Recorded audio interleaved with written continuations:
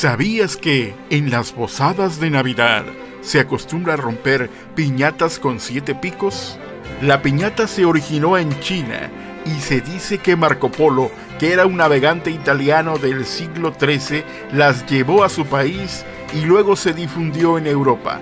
En la conquista española, los españoles la trajeron a México y se hizo muy popular. Los siete picos de la piñata representan los siete pecados capitales. Romperla significa la destrucción del mal y el triunfo del bien. Vendar los ojos a la persona que le pega a la piñata significa que la fe es ciega. Los dulces y frutas de la piñata significan las cosas buenas. Ahora ya lo sabes. A romper la piñata.